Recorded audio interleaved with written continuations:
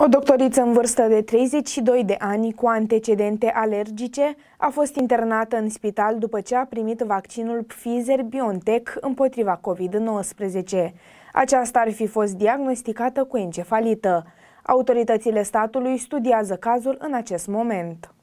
Doctorița a fost internată în unitatea de terapie intensivă a unui spital public din statul nordic Nuevo Leon după ce a suferit dificultăți de respirație, convulsii și o erupție pe piele la jumate de oră după administrarea vaccinului. Ea a fost vaccinată în această săptămână. Diagnosticul inițial este encefalită, a declarat Ministerul Sănătății într-un comunicat publicat vineri seara. Encefalita este o inflamație a creierului și a măduvei spinării. Ministerul a adăugat că nu există dovezi din studiile clinice că cineva a dezvoltat o inflamație a creierului după administrarea vaccinului. Autoritățile mexicane au declarat că studiază cazul doctoriței în vârstă de 32 de ani cu antecedente alergice. Pfizer-BioNTech nu au putut fi contactate imediat pentru comentarii.